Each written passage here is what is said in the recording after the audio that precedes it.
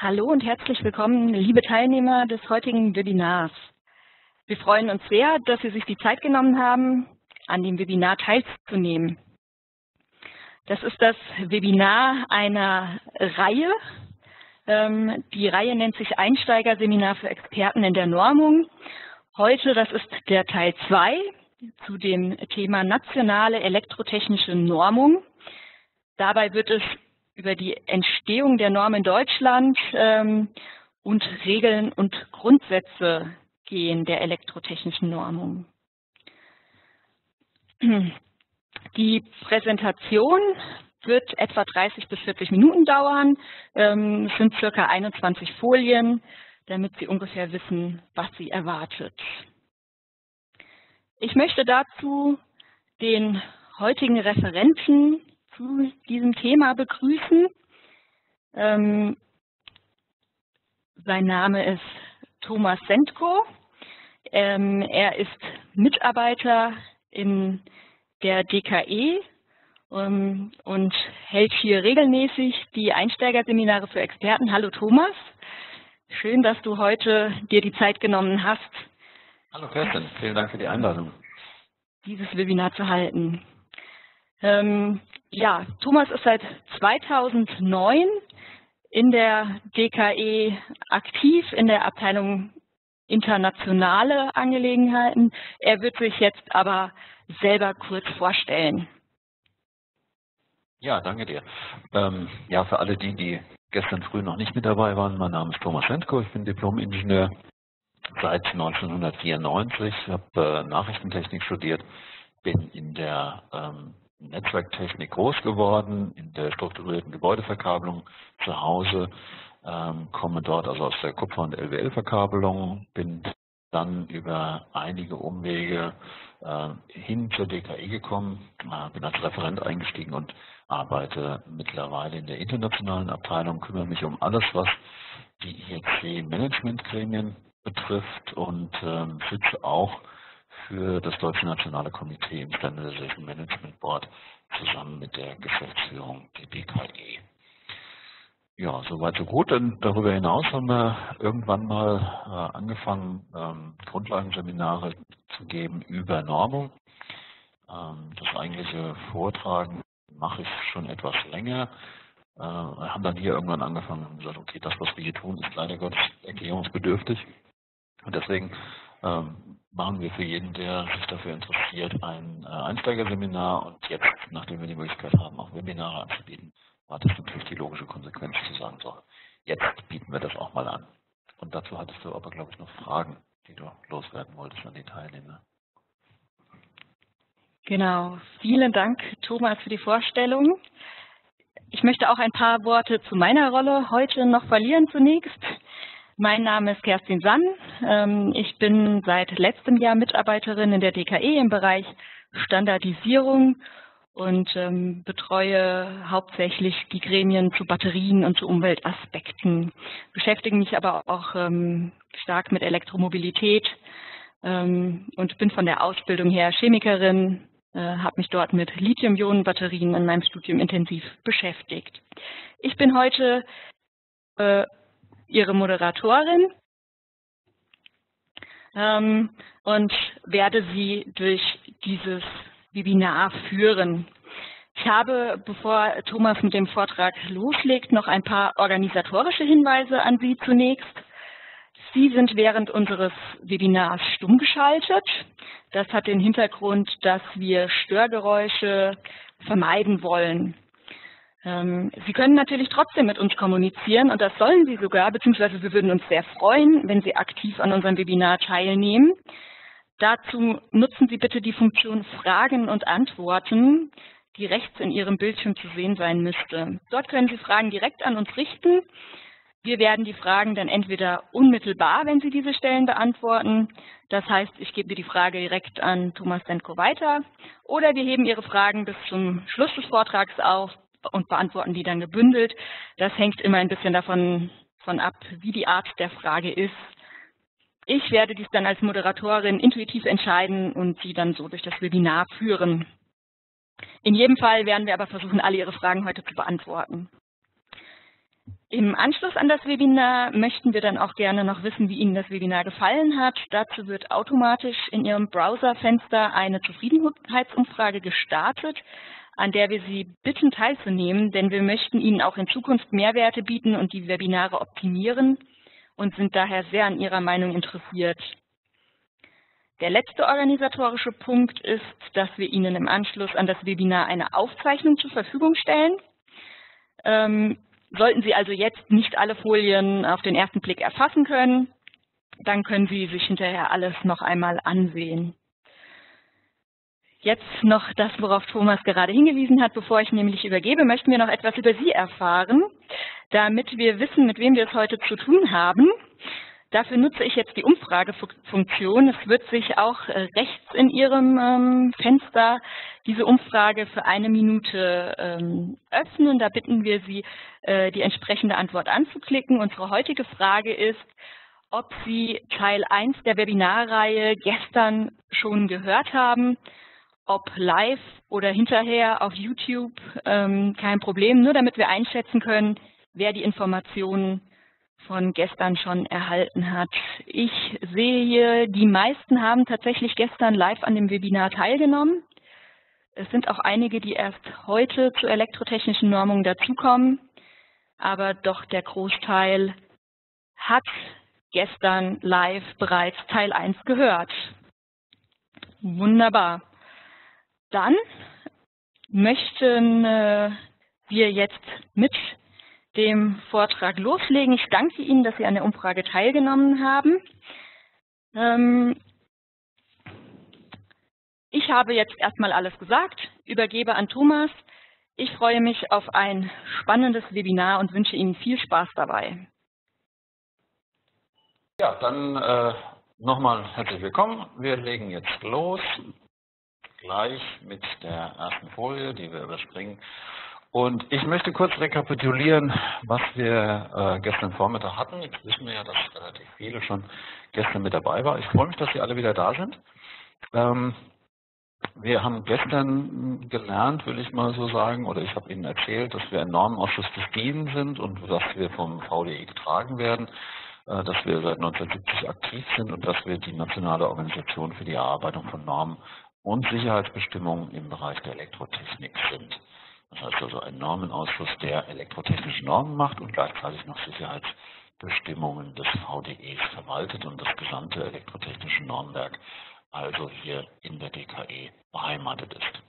Ja, ein wichtiger Punkt, den ich Ihnen mitgegeben habe, ist, dass wir marktorientiert arbeiten, das werden Sie noch mehrfach hören, ähm, und dass wir vor allem auch durch den Markt gelenkt werden. Das heißt also auf allen Hierarchieebenen der DKE, sei es in einem Gremium, sei es äh, in der Abteilung, ähm, wie aber auch ähm, äh, oberhalb der DKE-Geschäftsführung finden sich Experten, die den deutschen elektrotechnischen Markt repräsentieren und die sagen uns letztendlich, in welche Richtung wir die Normung ähm, betreiben sollen, wie die Normungspolitik aussehen soll und äh, ob wir das, was wir tun, so richtig machen. Ein ganz wichtiger Punkt auch in der Elektrotechnik ist, dass wir international arbeiten. Das heißt, es gibt andere Bereiche in der Normung, da passiert noch relativ viel ähm, regional, ähm, entweder auf nationaler Ebene in Deutschland oder natürlich auch äh, auf europäischer Ebene. In der Elektrotechnik sind wir da anders aufgestellt. Wir erarbeiten zwischen 80 und 90 Prozent mittlerweile ähm, international. Das heißt, die eigentlichen technischen Inhalte werden in einem Gremium der Internationalen Elektrotechnischen Kommission, der IEC, erarbeitet und durchlaufen dann einen äh, Prozess, der dafür sorgt, dass sie in Deutschland als Norm äh, verfügbar sind und diese Verfügbarkeit wird dann durch die DKE realisiert und die Verlage von DIN und VDE, der Beuth Verlag und der VDE Verlag verkaufen dann diese Norm. Wir hatten auch darüber gesprochen, dass wir uns finanzieren über diesen Normungsverkauf. Das heißt also, mit jedem kauft eine DIN-Norm ähm, sichern die, äh, die erfolgreiche elektrotechnische Normung in Deutschland. So, kommen wir nun also zur nationalen Normung. Wie funktioniert das im Allgemeinen? Ähm, ich zeige Ihnen heute ähm, wie der Ablauf generell ist und was wichtig ist in dieser ähm, nationalen Normung. Äh, prinzipiell ist es so, dass wenn die Inhalte auch woanders herkommen, so ist dieses Verfahren doch ähnlich, wenn wir internationale Normen haben, nur dass wir dann natürlich eine andere Quelle haben. Deswegen zeige ich Ihnen hier und heute ähm, kurz, wie wir in der DKE arbeiten und daraufhin äh, folgend dann nächste Woche ähm, sage ich Ihnen dann noch, ähm, wie Sie von einem Normungsantrag bis zu einer deutschen Norm kommen, äh, mit, dem, mit der Internationalität, mit der europäischen Harmonisierung und allem drum und dran. Also heute national. Wie funktioniert das Ganze? Ähm, ja, das DIN hat ein Selbstverständnis, dass es quasi den runden Tisch darstellt, an dem sich jedermann wiederfindet. Und das Wort jedermann ist hier wirklich so zu verstehen, dass wir ähm, die Aufgabe haben, an der Normungsarbeit jedermann ähm, zu beteiligen. Ähm, was wir machen, ist, dass wir einen Tisch zur Verfügung stellen. Ähm, da sitzt dann der Referent. Ähm, an diesem Gremium sollen dann alle, wir sagen, technischen Fachkreise sich versammeln äh, die den elektrotechnischen Markt repräsentieren. Und das sind dann nicht nur Vertreter aus der Industrie, wie man vielleicht im ersten Moment denken könnte, sondern das sind auch äh, Vertreter aus Wissenschaft, aus der aus dem Bereich der Verbraucherschutzverbände, ähm, je nach Gremium natürlich Handwerk, technische Überwachungsvereine, äh, der TÜV, das VDE-Prüfinstitut. Wir haben den Handel mit dabei, ähm, Dienstleistungsunternehmen, die auch immer wichtiger werden in der Normung. Äh, und last but not least haben wir natürlich auch äh, Vertreter der Ministerien mit dabei hier ähm, als Staat bezeichnet. Wichtig ist, dass wir den Stand der Technik versuchen zu ermitteln. Und äh, da sind wir natürlich auf die ähm, Industrie angewiesen, die dann doch einen Großteil der Entwicklungsarbeit vorantreibt. Ähm, wir berücksichtigen aber alle möglichen Erkenntnisse, vor allem halt auch aus der Wissenschaft und versuchen das als deutsche Norm niederzuschreiben.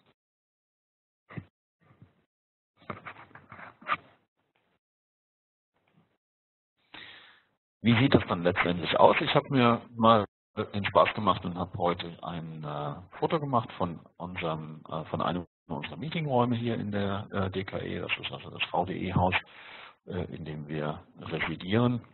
Ähm, Sie sehen, wir haben also ähm, einmal einen Referenten der DKE, der hier äh, natürlich die Sekretariatsaufgaben für das deutsche Gremium ähm, ausführt, der das Gremium organisiert, der einlädt, auch da gibt es ganz klare Regeln, wie sowas zu funktionieren hat. Auch das sage ich Ihnen heute, wie das funktioniert. Dann haben wir natürlich den Obmann des Gremiums, den dieses Gremium unter sich bestimmt.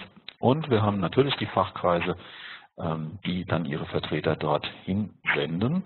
Ähm, es ist so, dass wir bei der Berufung in dieses Gremium jeweils den speziellen Fachkreis befragen, ob dieser ähm, Experte, der in diesem Gremium mitarbeiten möchte, denn auch autorisiert ist durch diesen Fachkreis. Speziell das Beispiel wäre dann ähm, zum Beispiel der Zentralverband der Elektroindustrie als ein Fachkreis des elektrotechnischen Marktes. Und wenn jemand von einer Firma, die beim ZVI Mitglied ist, mit teilnehmen möchte hier an der Normungsarbeit, dann fragen wir den ZVI auch, ob dieser Experte denn auch autorisiert ist. Und so funktioniert es bei allen eben genannten Fachkreisen. Ja, hinaus gibt es noch Gäste, die der Obmann jeweils einlädt, ähm, um spezielle Expertise noch in, diese, in dieses Gremium hineinzubekommen. Also wenn ähm, ein Fachvortrag zu einer speziellen neuen Technik gewünscht ist, dann lädt man sich zum Teil ähm, Gäste ein, die dann dementsprechend Vorträge halten und die nehmen wir dann auch nur als Gast an, diesem, an dieser Sitzung teil und sind im eigentlichen Entscheidungsprozess nicht beteiligt. Welche Regeln gelten denn? Das heißt, ähm, wir haben äh, drei große Regelwerke, die uns äh, die Normungsarbeit, ähm, ja, die uns die Regeln vorgeben für die Normungsarbeit. Ähm, wir haben eine Norm tatsächlich zur Erstellung von Normen. Da steht da nicht nur drin, welche Formate einzuhalten sind. Das ist natürlich wichtig, welcher Schriftgrad, welche Schriftart und so weiter. Aber viel wichtiger ist natürlich, dass das Verfahren immer das gleiche ist und dass es transparent ist, was wir hier tun. Und deswegen arbeiten wir wie alle Normenausschüsse des DIN ähm, nach der DIN 820. Darüber hinaus, Sie wissen, wir verantworten auch das äh, Vorschriftenwerk des VDE und da arbeiten wir nach der VDE 0022. das muss Sie nicht beschäftigen. Das ist vor allem, ähm, muss das der Referent, vielleicht noch der Obmann wissen, aber der Referent ist der, die, derjenige, der die Expertise über die Erstellung von Normen und auch die Formatierung ähm, hier vorhält und dementsprechend muss der natürlich die Inhalte kennen, aber nicht der einzelne Experte, der hier mitarbeitet. Darüber hinaus haben wir noch eine Geschäftsordnung, die dann ähm, auch uns im Notfall noch zu Hilfe eilt, wenn wir nicht weiter wissen. Ganz, ganz wichtig natürlich ist da drin, ähm, was passiert, wenn Einsprüche kommen zu dieser Norm. Ähm, dann ist auch das in dieser Geschäftsordnung geregelt, aber dazu mehr später. Ja, was haben wir generell für Regeln? Ich gehe natürlich jetzt nicht die ganze DIN 820 oder die Geschäftsordnung oder DKE durch, ich gebe Ihnen nur die wichtigsten Punkte mit auf den Weg. Ähm, ganz, ganz wichtig ist, die eigentliche Arbeit wird von den technischen Experten durchgeführt. Das heißt, die DKE-Referenten haben natürlich im besten Fall eine gewisse Expertise in den Bereichen, in denen sie als Referent tätig sind, aber eigentlich sind sie nur die Sekretäre, die sie beraten in Verfahrensfragen und äh, ihnen sagen, wie welche Arbeitsschritte auszuführen sind. Diese Fachleute werden von den Fachkreisen autorisiert, auch das habe ich Ihnen schon gesagt. Und ganz, ganz wichtig ist immer, ich sage es nochmal, eine angemessene Vertretung aller Fachkreise in diesem Gremium, damit nicht einzelne Bereiche des Marktes die Normung der, ähm, ja, ähm, dominieren. Ein ganz, ganz wichtiger Punkt, und das steht hier in der Mitte, die Arbeitsergebnisse müssen der Öffentlichkeit vorgestellt werden. Das heißt, das, was wir tun, ähm, ist nicht intransparent, sondern im Gegenteil, wir suchen die Öffentlichkeit. Ähm, das ist im Zeitalter des Internets natürlich wesentlich einfacher geworden. Das heißt, wir präsentieren äh, uns im Internet, wir präsentieren unsere Arbeitsergebnisse in verschiedenen Bereichen. Ich zeige Ihnen nachdem, äh, wo das genau funktioniert. Das heißt, von außen betrachtet können Sie jederzeit sehen, welche Normung ist gerade aktiv, welche Normen sind in der Entstehung. Ähm, dann gibt es Veröffentlichungen von Entwürfen. Diese Entwürfe sind kostenfrei einsehbar. Die sind kommentierbar, auch durch wirklich jedermann. Da haben wir gerade ein neues Tool veröffentlicht, ähm, wo weltweit wirklich jeder Mensch, der eine E-Mail-Adresse hat, sich registrieren kann und dann dort ähm, Kommentare eingeben kann. Und diese Kommentare laufen dann auch hier in der DKI auf und werden dem Gremium, das für diese äh, Norm zuständig ist, vorgelegt und dort bewertet und dann kann man auch erwarten, dass man eine Rückmeldung bekommt. Also das sind alles Dinge, äh, die wir tun und wir suchen die Öffentlichkeit und wir versuchen natürlich auch Werbung für die Normung letztendlich zu machen. Diese Stellungnahmen oder Kommentare, die dann kommen, ähm, sind natürlich Teil, essentieller Teil der Normungsarbeit. Ähm, nicht jeder muss in einem Gremium mitarbeiten, aber jeder kann Kommentare bringen. Und dann können Sie sich vorstellen, dass es natürlich auch zu unterschiedlichen Meinungen kommt in Bezug auf technische Sachverhalte. Ähm, wenn das Gremium eine, einen Kommentar ablehnt, eine, einen Einspruch zu einer Norm ablehnt, dann gibt es ein spezielles Verfahren, äh, wie damit umzugehen ist. Und da möchte ich Sie daran erinnern, dass wir diese Vertreter des elektrotechnischen Marktes auf allen Hierarchieebenen der DKI vorfinden.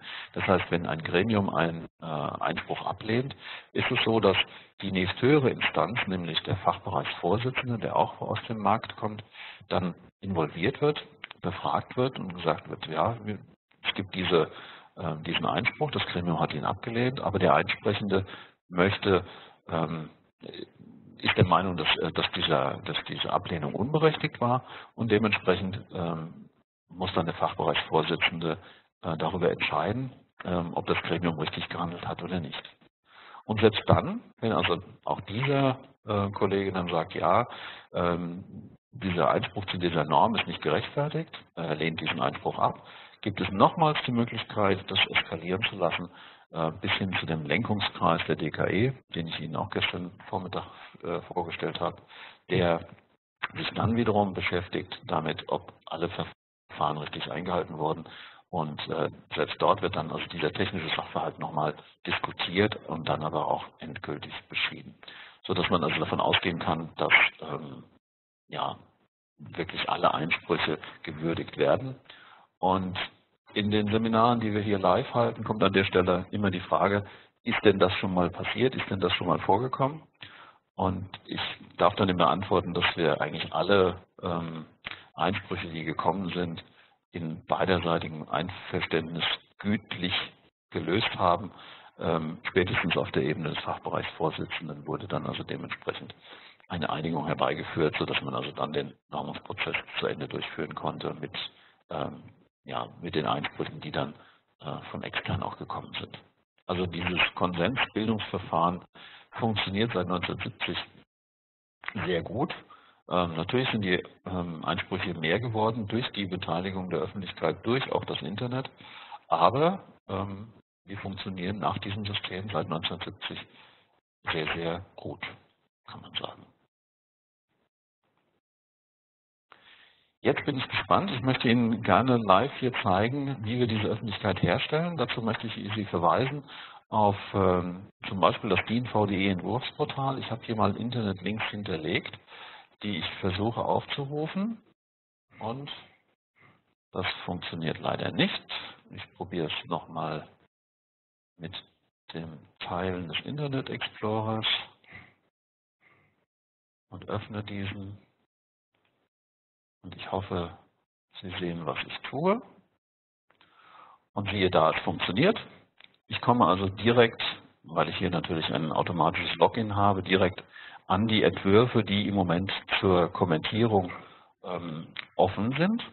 Und alles, was Sie tun müssen, wenn Sie noch keinen DKE-Account haben, wenn Sie also noch nicht aktiv in der, Norm, in der Normung äh, mitarbeiten, dann ist es so, dass Sie auf der Startseite hier äh, DIN-VDE Entwurfsportal äh, sich ein Login klicken können. Sprich, Sie registrieren sich einmalig mit Ihrer E-Mail-Adresse, mit einem Namen und ähm, dann können Sie sofort hier einsteigen und können sich diese Norm, äh, Normentwürfe anschauen. Warum müssen Sie eine E-Mail-Adresse eingeben? Ganz klar, wir möchten natürlich, wenn Sie hier Kommentare eingeben, auch auf diese Kommentare reagieren können und Ihnen eine qualifizierte Antwort geben auf den Kommentar, den Sie uns schicken. Äh, und deswegen fragen wir nach der E-Mail-Adresse. Das ist der einzige Hintergrund.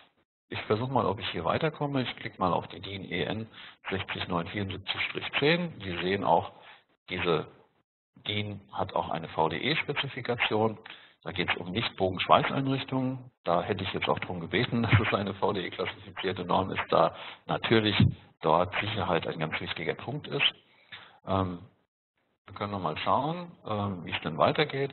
Und hier sehe ich jetzt die Möglichkeit, mich durch diese Norm durchzuklicken. Ich kann also jede einzelne Seite dieser Norm mir anschauen. Ähm, Sie sehen, dort ist noch das Inhaltsverzeichnis, Anwendungsbereich, normative Verweisungen. Und dann kann ich hier tatsächlich klicken, Sie haben einen Kommentar zu diesem Entwurf. Über dieses Formular teilen Sie uns die Kommentare ganz einfach mit und dann sehe ich hier die Möglichkeit, einen Kommentar grundsätzlich technisch redaktionell hier einzugeben. Sie können hier einen Kommentar, Freitext eingeben, Ihren Änderungsvorschlag zu diesem Abschnitt eingeben, drücken dann auf Kommentar abgeben. Das mache ich jetzt nicht, sonst bekommt nämlich der Referent, der für diese Norm hier in der DKE zuständig ist, ein ähm, Word-Formular mit dem Kommentar, den Sie abgegeben haben, zugeschickt. Das ist also eine ganz schöne Sache. Ähm, ich gehe jetzt nochmal zurück zur Präsentation und sehe dort dann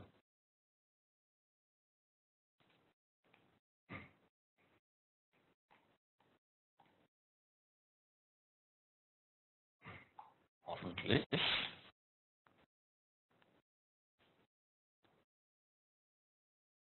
keinen.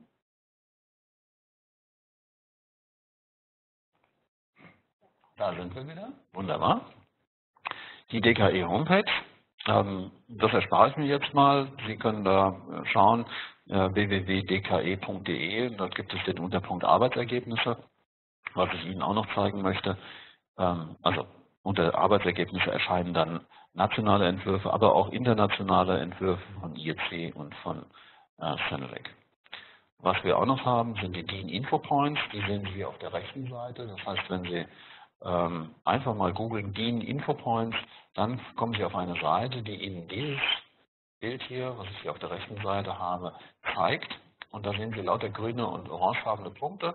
Und das sind tatsächlich Orte, wo Sie hingehen können, physikalische Normen einsehen können, beziehungsweise steht dort ein Computer, den Sie beanspruchen können und dann können Sie alle Normen einsehen. Und Sie haben auch die Möglichkeit, wie im Schriftstückservice hier im Hause der DKE, äh, Teile der Normen sich ausdrucken zu lassen und mitzunehmen gegen eine einfache Kopiergebühr. Das heißt also, wir haben, sind immer wieder mal mit dem Vorwurf äh, konfrontiert, dass wir, dass wir Normen unter Verschluss halten würden oder dass wir nicht transparent arbeiten würden. Jeder Mann hat in Deutschland die Möglichkeit, Normen kostenfrei einzusehen, ähm, Entwürfe kostenfrei einzusehen und dementsprechend sich an der Normung zu beteiligen. Und last but not least, seit dem 1.9., also seit diesem äh, Monat, haben wir die Möglichkeit, auch wiederum ähm, auf IEC-Ebene, das heißt also international, ähm, Normen, Normentwürfe zu, kom äh, zu kommentieren, auch wieder jedermann. Und ich gehe jetzt hier nochmal auf den Internet Explorer, dann müssen Sie die Seite IEC-CH sehen, jawohl, das sind also die Seite der Internationalen Elektrotechnischen Kommission. Und da sehen Sie dieser Button hier unten blau, Public Commenting on Draft Standards, der ist neu. Und wenn ich da draufklicke, passiert das gleiche wie bei diesem äh, Entwurfsportal. Ich komme hier auf, ein, ähm, auf eine Seite, da kann ich mir auch wiederum einen Account anlegen. Innerhalb von wenigen Minuten auch hier Zugang zu den ähm, CDVs. Das sind die Comedy Drafts, die im Moment gerade in, in äh, der Kommentierung seitens EEC sind. Und ähm, da ist es so, dass Sie auch Kommentare absenden können, die dann auch hier in der DKE äh, auflaufen. Entschuldigung dafür. Das war jetzt wirklich eine Premiere in dieser Anwendung und äh, das nächste Mal wird es wieder besser funktionieren. Es tut mir leid. Ja, Thomas, so, so, etwas kann immer vorkommen. Wir haben hier auch direkt eine Frage, die ich gerne an dich richten möchte. Okay. Ähm, da geht es nochmal um ähm, entweder um das Schlichtungsverfahren, denke ich, oder auch ähm, könnte auch betreffen ähm, um die Kommentierung von Entwürfen ähm, durch Experten. Und zwar ist die Frage, wenn es mehrere widersprüchliche Vorschläge zum Entwurf gibt, wie erfolgt dann die Entscheidung des Sekretärs? Ja, das ist ein Teil des, ähm, des nächsten äh, oder dieses Seminars heute noch. Ähm, wir arbeiten nach dem Konsensprinzip. Das heißt also, wenn wir verschiedene technische Vorschläge haben, einen Sachverhalt zu normen, dann wird es ausdiskutiert und es wird so lange diskutiert, bis man zu einem Konsens gekommen ist. Deswegen ist es ganz, ganz wichtig, dass wir alle Fachkreise an diesem Tisch haben. Äh, dann haben Sie unterschiedliche, dann haben wir unterschiedliche Meinungen zu einem Sachverhalt. Und es gibt kein, kein Voting, es gibt keine Abstimmung, es gibt kein irgendwie geartetes äh, Verfahren, das herbeizuführen, sondern man diskutiert so lange, bis man sich technisch einig ist. Und ähm, der Konsens, ich habe das die Definition, glaube ich, in diesem, in diesem Foliensatz hier, ist tatsächlich dadurch geprägt, dass niemand seinen ähm, Widerstand gegen diesen Sachverhalt aufrechterhält. So wird also letztendlich dann im Komitee entschieden. Gesetzt den Fall, es wird entschieden ähm, und jemand überlegt sich hinterher anders, dann kann er genau diesen Weg wählen, dann kann er den Einspruch äh, gehen und kann also sagen, okay, ich spreche ein gegen diesen Entwurf, ich sende einen Kommentar an das Gremium und dann wird dann nochmal drüber beraten und wenn dann abgelehnt wird, dann geht dieses Schlichtungsverfahren los. Okay? Vielen Dank. Prima. Ich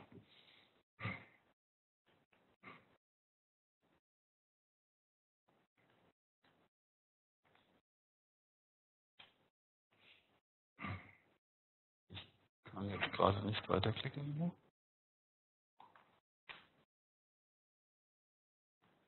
Jetzt geht's wieder.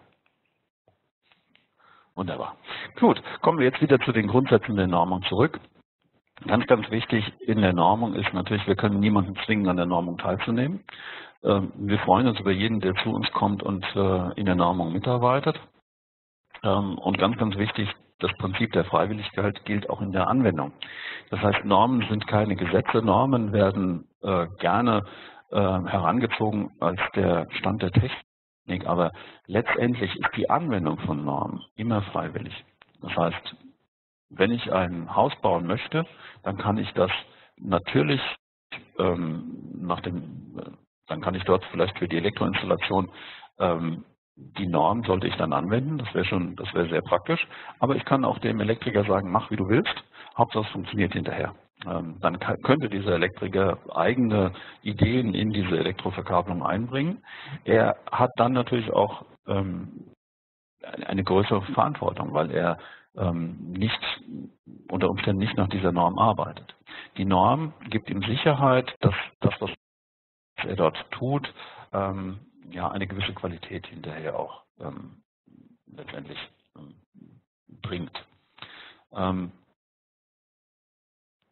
es ist dann so, dass wenn jemand, wenn dieser Elektriker nicht nach diesen Normen arbeitet, äh, dann muss er quasi im Zweifelsfall den Nachweis erbringen, dass die Arbeit, die er abgeliefert hat, auch ähm, sicher ist. Das ist ja ganz, ganz wichtig in der Normung und äh, dass die Qualität letztendlich auch stimmt. Also wir empfehlen natürlich die Anwendung der Normen, aber wir können niemanden zwingen. Das heißt also, im Zweifelsfall gilt der Vertrag, der zwischen den einzelnen Parteien abgeschlossen wird über die Erbringung einer Dienstleistung zum Beispiel. Und dort ist es dann sinnvoll, ähm, die Anwendung von Normen ähm, hineinzuschreiben und im Zweifelsfall auch genau reinzuschreiben, nach welchen Normen gearbeitet werden soll. Ich habe Ihnen schon gesagt, dass die Beteiligung der Öffentlichkeit äh, wichtig ist, ähm, dass die Beteiligung aller interessierten Kreise wichtig ist. Das Konsensverfahren haben wir eben schon mal vorgezogen und angesprochen. Und Sie sehen, ähm, dass wir versuchen, möglichst international zu arbeiten und dass wir möglichst immer aktuell versuchen zu sein. Noch eine Frage?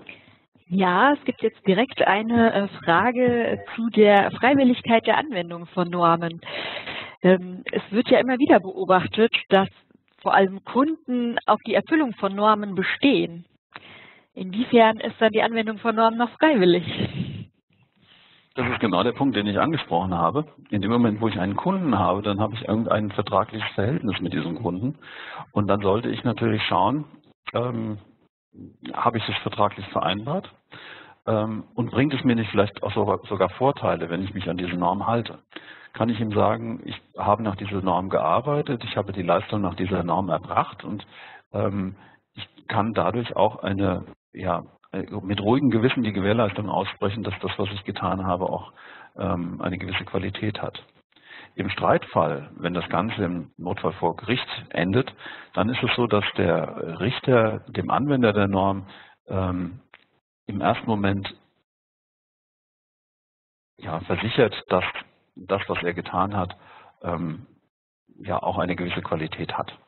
Das heißt, es wird dann im Notfall ein Experte eingeschaltet, ein, ähm, es wird ein Gutachten erstellt und in dem Moment, wo, wo der Erbringer der Dienstleistung, ich sage jetzt mal der Elektrohandwerker, nach der Norm gearbeitet hat, äh, billigt man ihm zu, dass das, was er getan hat, auch wirklich ähm, Hand und Fuß hat und dass es eine gewisse Qualität entspricht.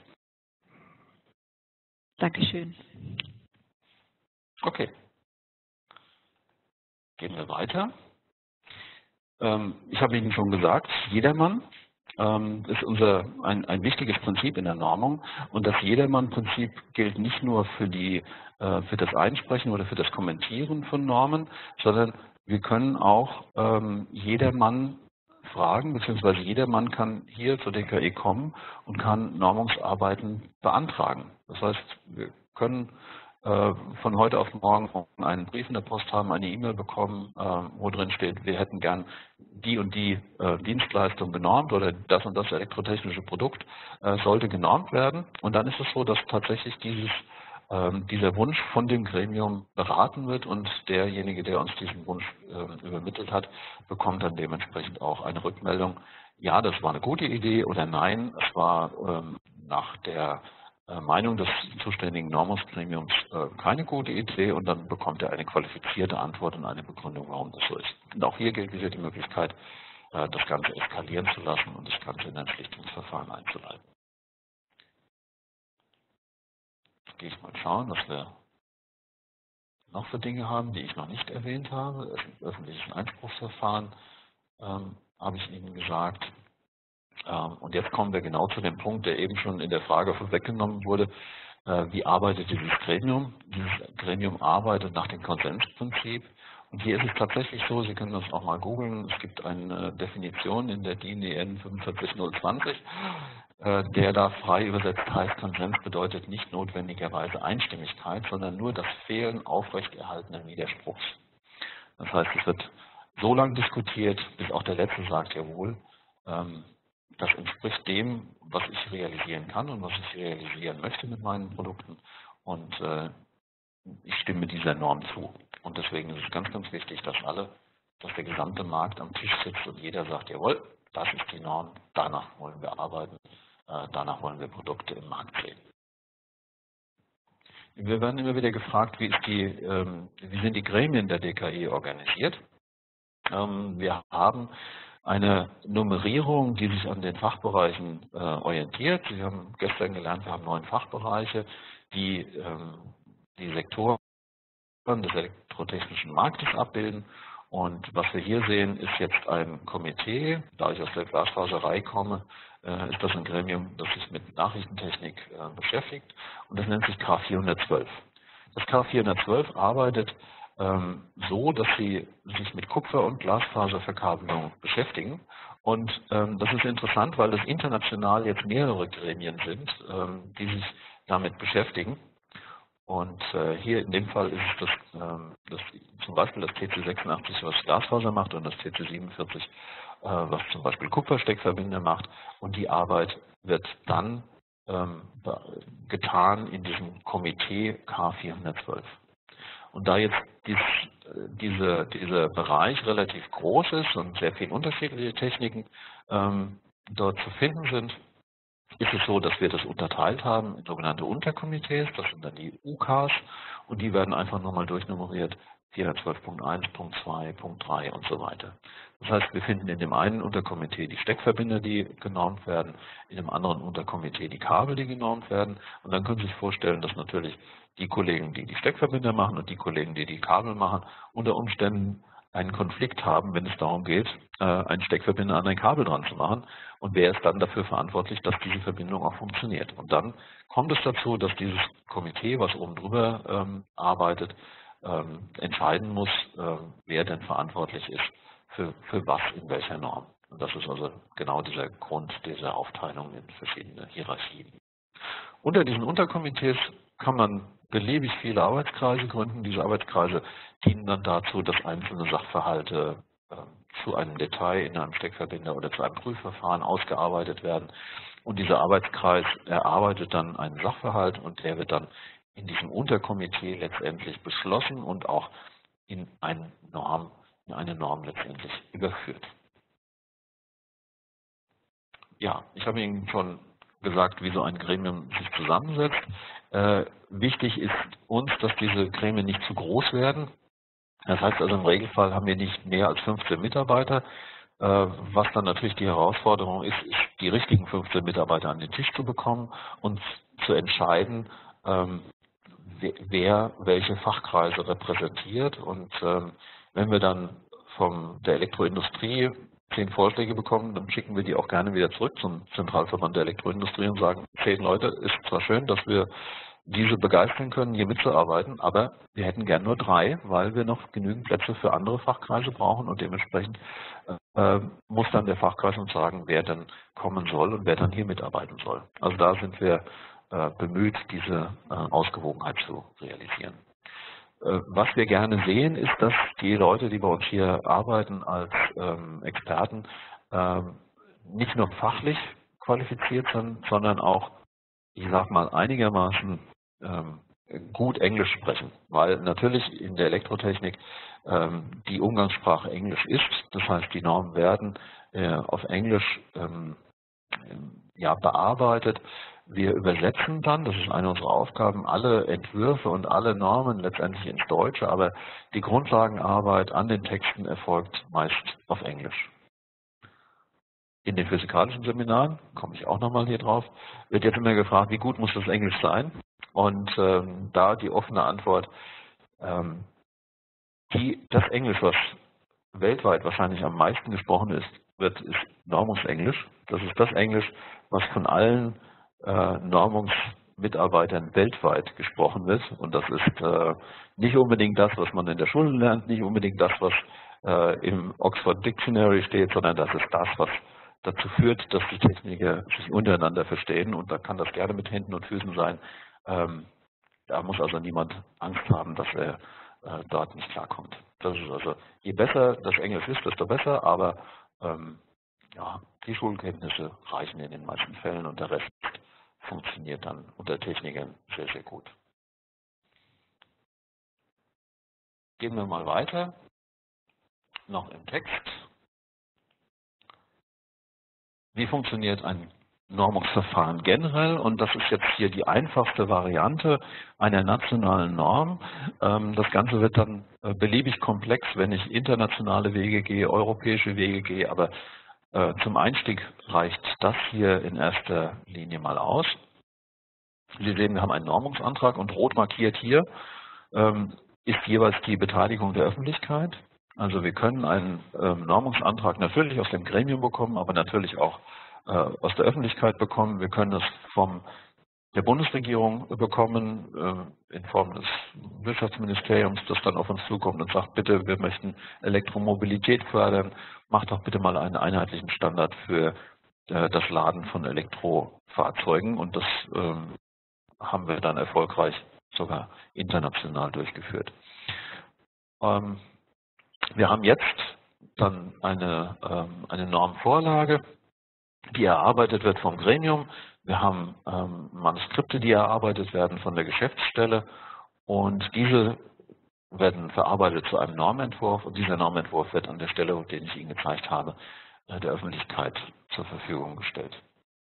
Wir haben dann natürlich noch Qualitätssicherungsverfahren innerhalb der DKE, wie auch äh, auf Seiten des Dienstes. Es gibt also tatsächlich eine Normenprüfstelle, die prüft, ob alle äh, Kriterien eingehalten worden sind. Und Sie sehen auf der linken Seite noch das Schlichtungs- und das Schiedsverfahren, was wir Notfall anwenden noch müssen. Wenn dann diese Einwürfe, äh, Einsprüche alle bearbeitet werden, kommt es zur Erarbeitung eines Manuskripts für eine Norm und letztendlich der Veröffentlichung einer deutschen DIN-Norm.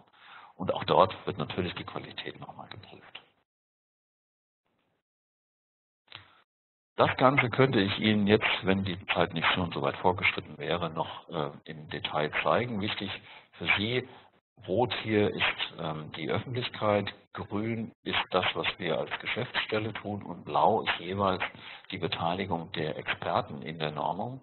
Und da sehen Sie, da ist sehr viel blau mit dabei, nämlich Normungsbedarf feststellen, macht das Gremium, das Gremium berät das ähm, eigentliche Manuskript, es verabschiedet auch den Inhalt, ähm, dann arbeiten wir ein wenig an dieser, äh, an dem, an dem, an dem Layout der gesamten Sache, stellen das Ganze nochmal der, der Öffentlichkeit zur Verfügung, dann arbeitet wiederum äh, das Referat daran, äh, das Arbeitsgremium entscheidet über diese Einsprüche und über die Kommentare. Äh, dann ist wieder die DKE dran, die das Ganze qualitativ weiterbringt.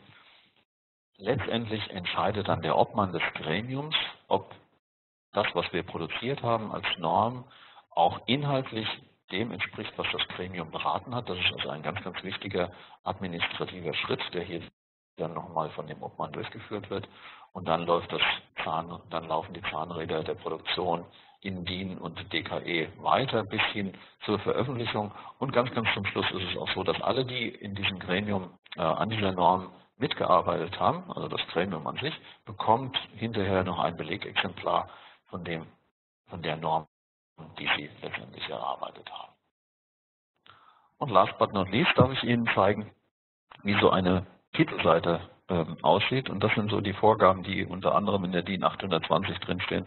Das muss Sie nicht erschrecken, aber das sind so die Sachen, die wir hier qualitativ einhalten müssen und die dann auch tatsächlich von einem Mitarbeiter im DIN geprüft werden, ob sie denn auch äh, wirklich so sind. Und damit kommen wir zum heutigen Schluss. Das ist die nationale Normungsarbeit. Ich danke Ihnen für Ihr Teilnehmen zu dieser späten Stunde. Ich freue mich, dass Sie alle mit dabei geblieben sind und darf Sie auffordern, wenn Sie Lust haben, folgen Sie uns auf Twitter, schauen Sie sich unseren YouTube-Kanal an. Wir machen einiges an Storyfy und an Google Plus Kommentaren. Und ähm, ja, für alle die, die mehr wissen wollen, machen wir nächste Woche äh, die internationale Normung. Und wenn Sie dabei bleiben, dann lernen Sie, wie Sie vom ganz zu Anfang hin zu einer Veröffentlichung kommen über den Weg der internationalen Normung und der europäischen Normung. Und damit vielen Dank. Vielen Dank, Thomas, für dieses informative und aufschlussreiche Webinar, wie ich finde. Ähm, wir hoffen, es hat Ihnen gefallen und Sie können die Informationen, die Sie heute hier erhalten haben, für Ihre weitere Arbeit gut nutzen. An, an dieser Stelle ähm, möchten wir uns von Ihnen verabschieden. Wir wünschen Ihnen noch einen guten Abend und äh, sagen auf Wiederhören. Tschüss. Tschüss auch von meiner Seite. Schönen Abend.